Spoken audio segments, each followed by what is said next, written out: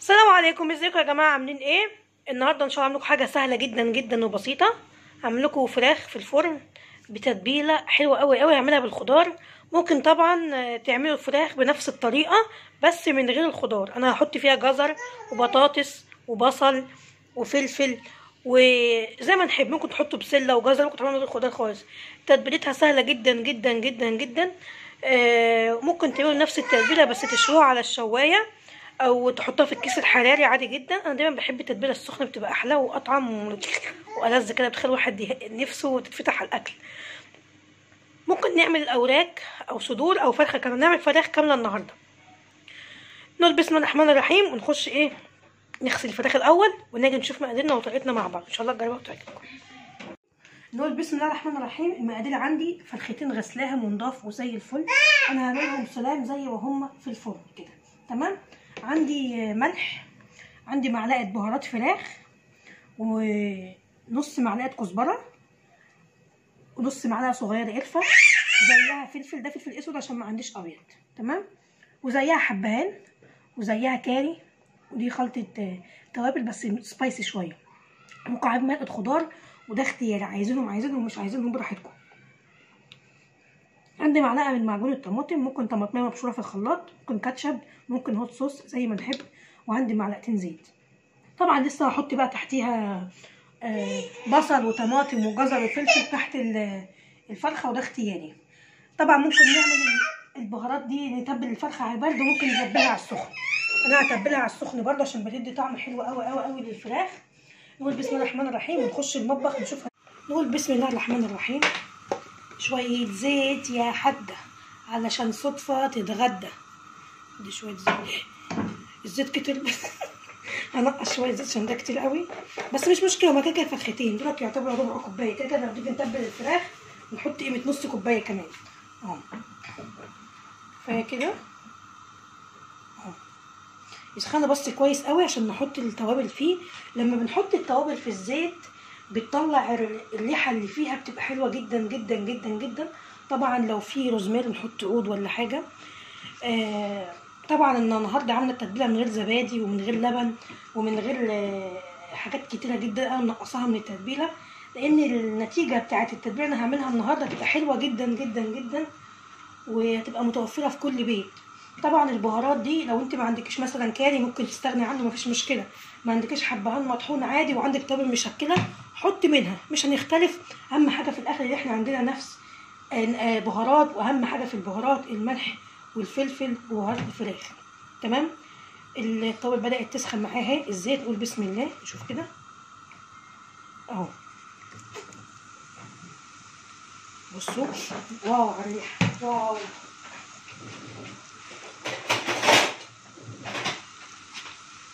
بسم الله الرحمن الرحيم.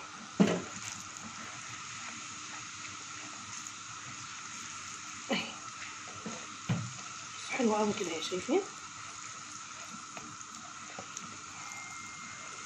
نحط بقى حبة آه، معلقة صلصة الطماطم. بسم الله أهي.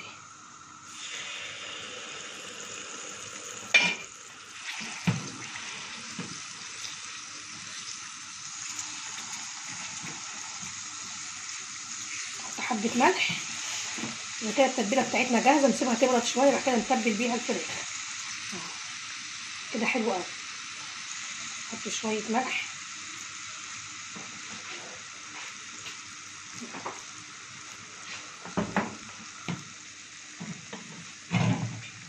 بسم الله.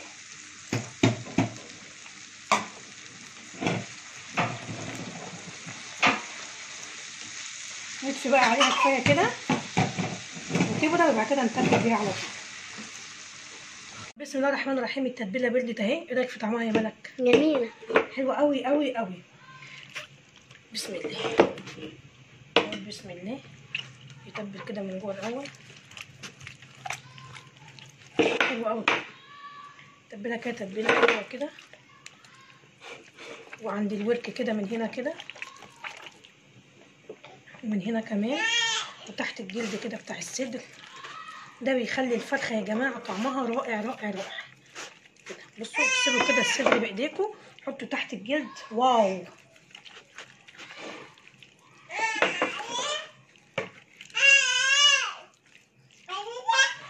من هنا كمان. بسم الله.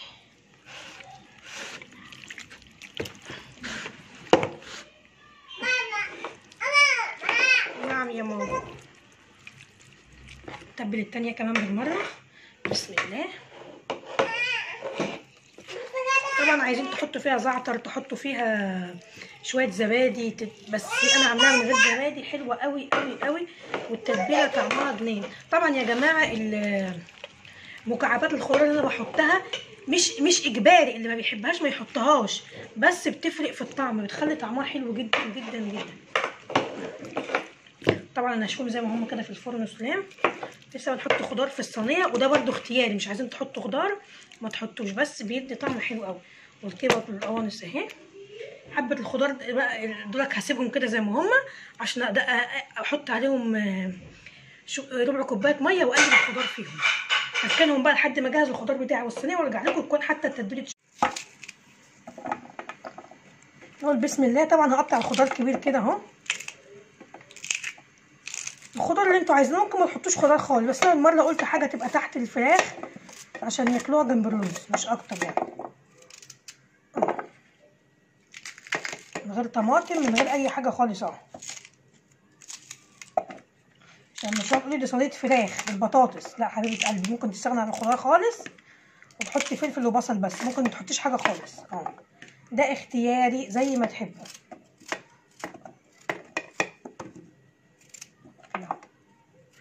وأقطع البطاطس تكون كبيرة. كده.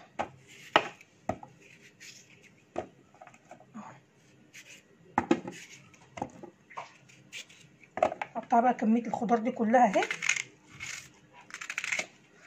نحط عليها التتبيلة أنا- أنا شلت حبة من التتبيلة زي ما وريتكم. أهو.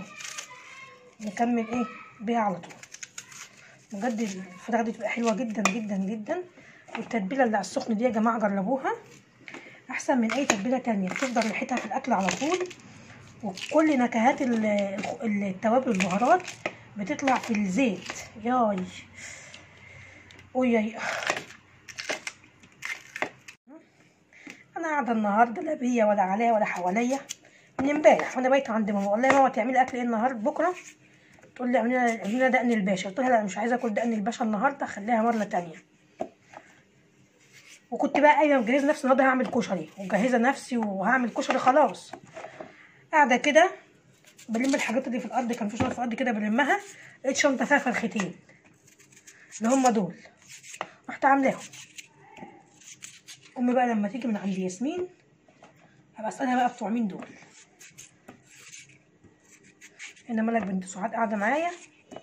قلت لها تصورني كده نعمل أي مصلحة. بسم الله. أهي. الخلطه اهي زي ما قلت لكم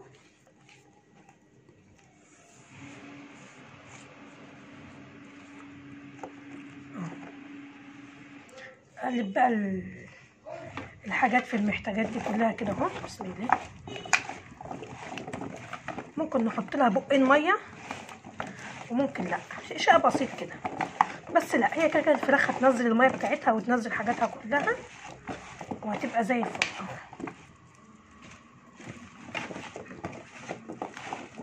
بصوا زي الفل كده أهو. طبعا وهي في الفرن قبل ما تطلع بحاجة بسيطة أهو. نقول بسم الله. كتف الفرخة.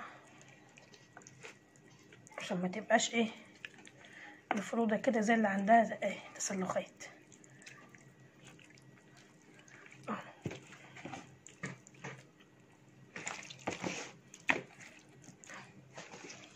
طبعا هنعمل شوية رز. بس إيه؟ مش دلوقتي وهي في الفرن كده قبل ما تقرب تستوي على طول أعمل لها حبة رز جنبها وخلاص. شكرا للتحية. نقول بسم الله الرحمن الرحيم. كده تمام قوي والصينية جاهزة وزي الفل عشان تخش الفرن.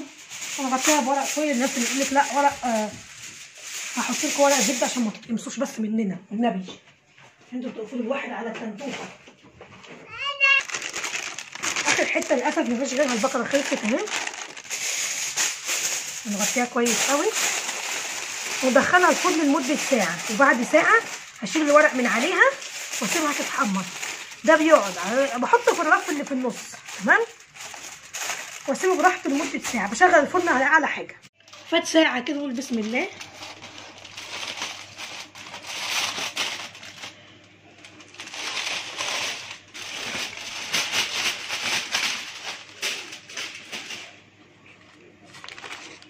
بصوا ما شاء الله عليها شايفين. ريحتها بقى تحفة. الخضار استوى بصوا الخضار استوى وزي الفل كده اهو.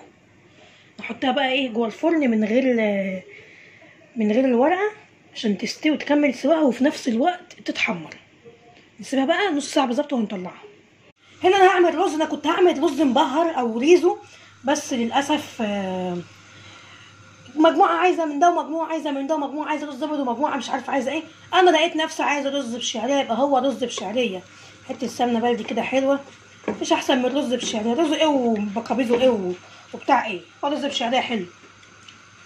شو بقى يسخن نحط الشعرية. نقول بسم الله. الشعرية بحب الشعرية كتير أنا. طبعا عشان بتتلدع بسرعة. هغسل الرز على ما تتحمر. عشان بتتلدع بسرعة جدا. بسيبها وأروح أغسل الرز. نقول بسم الله الرحمن الرحيم. اتحمر أهو. كده حلو قوي على الشعريه ما بحبش أغمقها عن كده. بسم الله.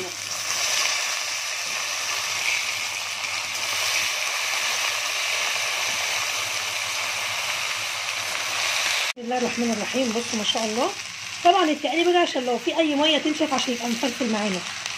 آه. بصوا بقى يا جماعة الأكل أذواق. ماشي أنا بحب أحط في الرز حبة حبهان وحبة بهارات فراخ. قال يعني معمول بشوربة. ماشي؟ أدي حبة حبهان مطحون وده الأكل اختياري. اللي حابب يجرب يجرب اللي مش حابب براحته. أدي حبة بهارات فراخ. كفاية كده. ونرش بقى الملح بتاعنا.